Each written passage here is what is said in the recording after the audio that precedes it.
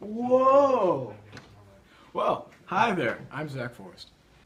Good to meet you. So, have you heard I'm running for choir office?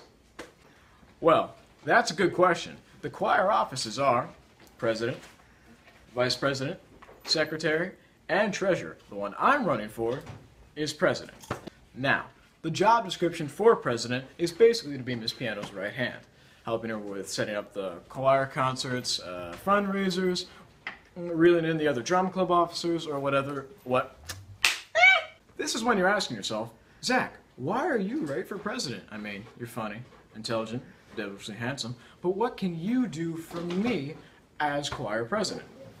Well, let me tell you, that's a good question. Well, friends, I've been into knowing choir since you were falling asleep watching Fantasia in Miss Vincent's class. I've been in Madrigal since my freshman year, I held the secretary position last year, and that means I know how a president should be acting as well as the other choir officer. Most of you already know me personally, or at the very least have an idea of who I am. But if you don't, here's who I am in a nutshell. If you have a milkshake,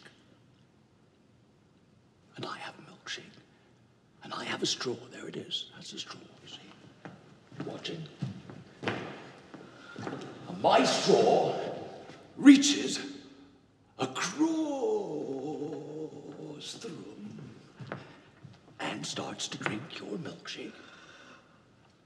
I drink your milkshake. Glorious. What does that mean, you might ask? Well, stranger, I'll tell you. I'm passionate, I'm family oriented, I'm not afraid to hand out tough love. I love all of you, and I love milkshakes.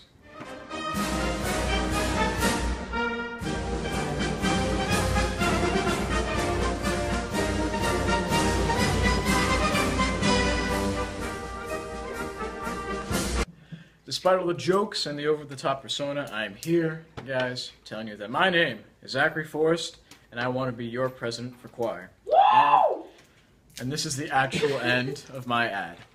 Woo!